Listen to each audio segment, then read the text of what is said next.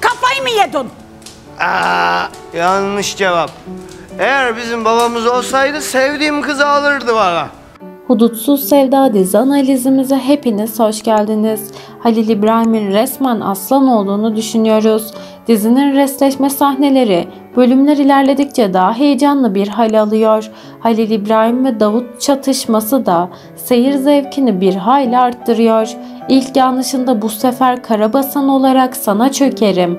Adımını ona göre at Davut demesi Halil İbrahim'in Davut'a karşı büyük planlarının olduğunu bizlere gösteriyor. Dizinin yeni bölümüyle ilgili ayrıntıları kaçırmamak için kanalımıza abone olup bildirimleri açabilirsiniz.